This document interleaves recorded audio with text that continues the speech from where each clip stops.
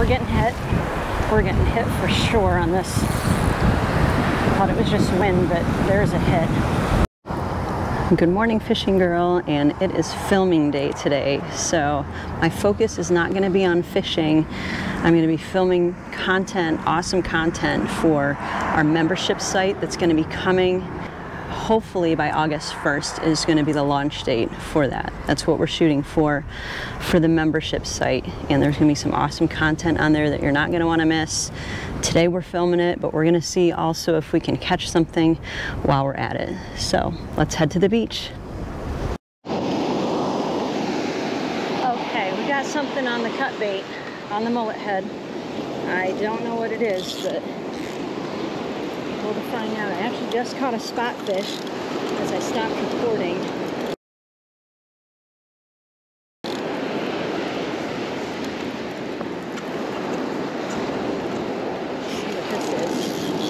this him a little fight. Yeah, there's a little fight there. He's in the wash. I don't want him to break off in the wash. What do we got here? Oh, we got a bluefish. Nice. What was that? Oh, this is my mullet head. Yeah, I got plenty of those. Uh, but we got a bluefish. And uh, if he's keeper, I'm keeping him. I really like bluefish to eat. I just met a new, a new friend. She recognized me from uh, my post about winning that fifth place fish. So uh, she'll be looking for this video. All right, look at that. Nice little bluefish we're gonna measure. Great thing about this cart is that we've got measurement right on the cart. He is 12 and a half inches to the fork.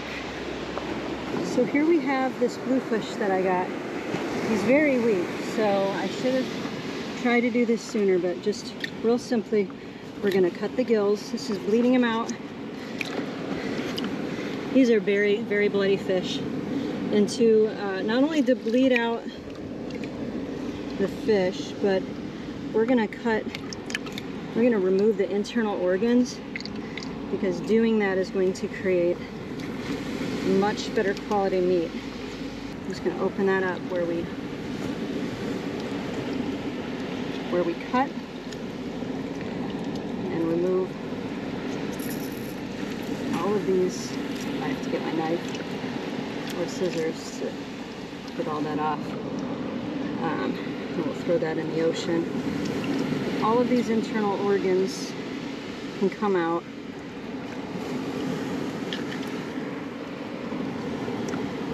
This will be especially true. Grab my knife here if you've gotten a shark. Definitely want to get all of those internal organs out as soon as possible. I'm pretty sure I have a fish over here. My other battery died in my other camera, so I'm gonna go check it out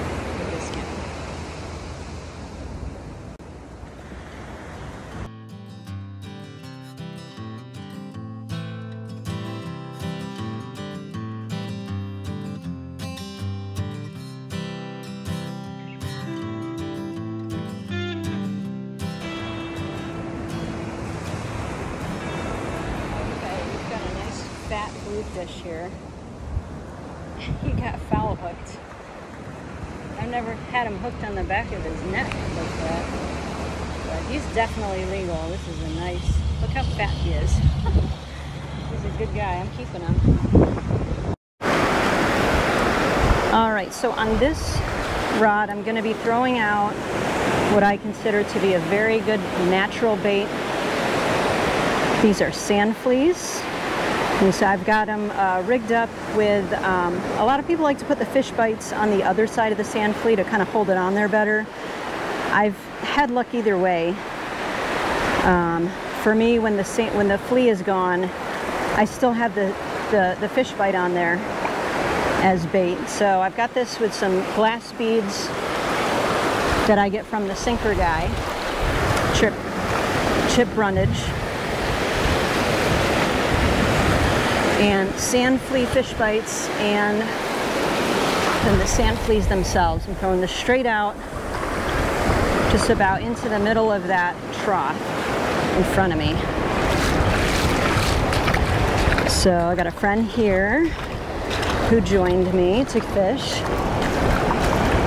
see what we can catch, and we're gonna cross our fingers that that storm keeps going to the east. Right now it's not coming this way, but I've been seeing lightning, but it's down there. It's not here.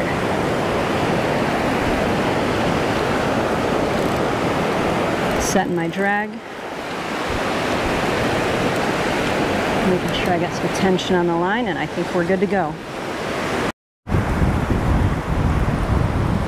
I started reeling this in and didn't realize that I've got a fish on here. Looks like a little whiting. It's a pretty good whiting. He's a good one. This is a Gulf Kingfish.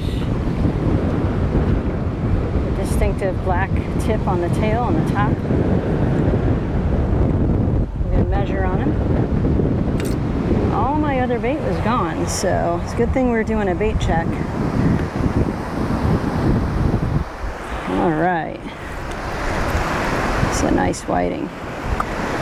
I needed you for the tournament, dude. Where were you? Oh, oh I'm catching you with the other hook.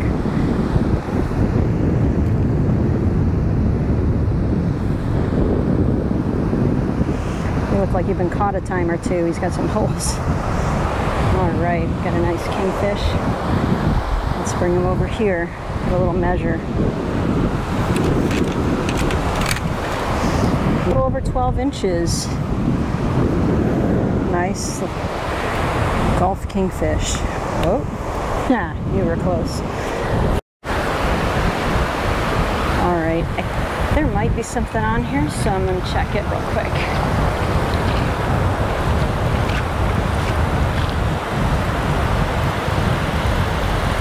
with the wind as strong as it's been. Oh my gosh. She she lost her line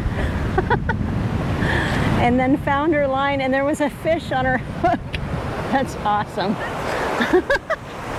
That's awesome.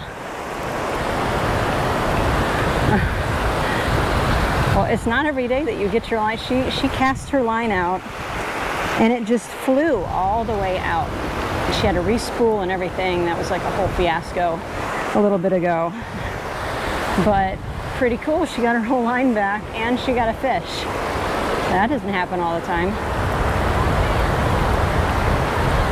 All right, if there's something on here, it's not very big. Let's see. I can't really tell. Oh, and we got a ladyfish. Oh, I didn't think it was very big. That is a big old ladyfish. Let's get you off of here, ma'am. We're gonna get a measure and then throw you back. After your photo shoot, of course. Boy, you really got that.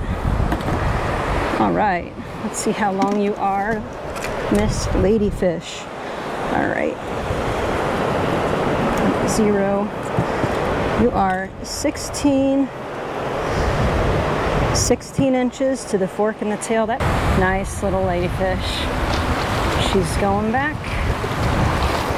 This one from here. she's kind of weak. Let me put her out farther. I think she might have been on there a bit. Okay. We'll get you out and make sure you can you want to revive your fish as much as possible. Okay, so the proper way to release a fish, you don't want to just throw it back because if they've been fighting a while, if they've been out of the water for a while, they're going to be weak. Whoop. They're going to be weak.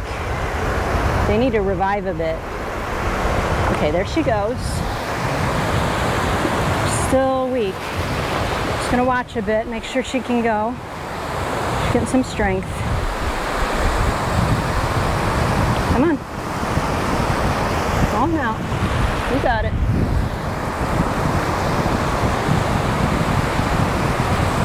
I still see her.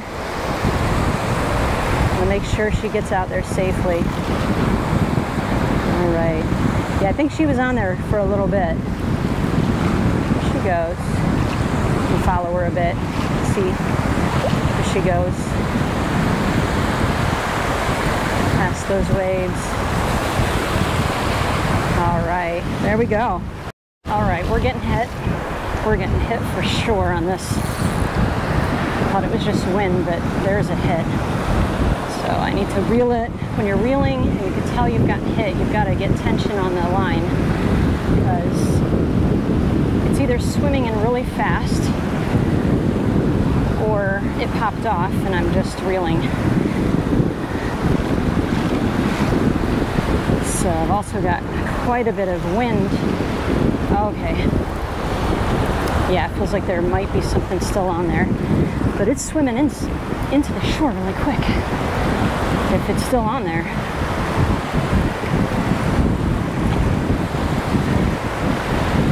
Oh yeah. Oh, we got a little, uh, we got a palometa. I had, this is the first one I've caught this year. This is related to the pompano species and there's no regulations on this so um, it'd be a really small fillet but they taste um, I've had them before. They're they're just almost as good as as pompano. And check this guy out. Now that's why he was swimming so fast. He was swimming into the shore. Now these fish like pompano they've got these spikes. You can see them here. These spikes here spikes on the bottom. So they're kind of related. I believe they're related to the pompano. Look at that. Beautiful little palometa awesome little fish. All right I just want to film show how easy this is to push on a low impact beach here at Matanzas Beach. It's very flat very flat beach. Water is coming in keep moving back and back literally just push this with one hand. Now I have to bend over a little bit because this is a little low. That's all right. This is way easier. So much better.